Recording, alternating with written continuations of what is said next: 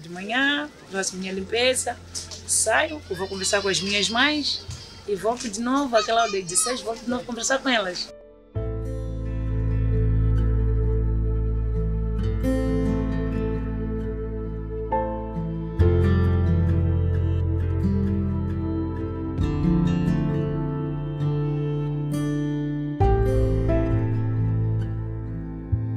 As primeiras casas de minhas vizinhas eu via cair.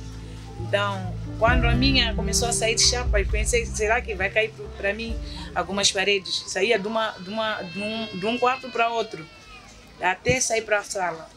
Então, para a mulher é mais forte, foi mais forte. Teve uma mulher que saiu de casa porque precisava de ir onde estão os filhos.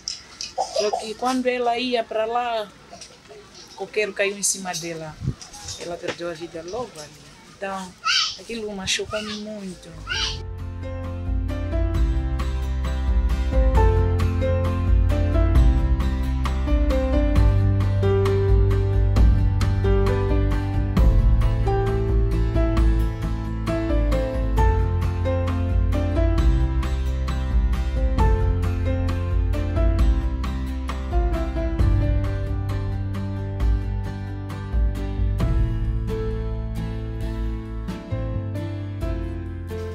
Para mim é, é importante porque eu nunca tinha conversado com mulheres assim, grávidas.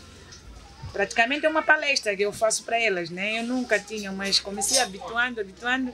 Eu agora me sinto muito bem conversar com elas. Já não tenho, não fico assim com vergonha conversar com elas. Eu converso com elas, parece que estou conversando com minha filha.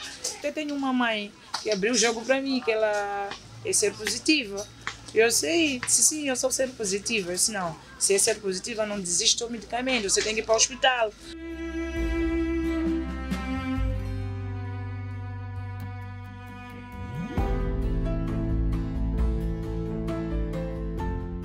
Aqui a força que eu dou é das mulheres não ficar abaixo. Me sinto muito orgulhosa, muito orgulhosa, do fundo do meu coração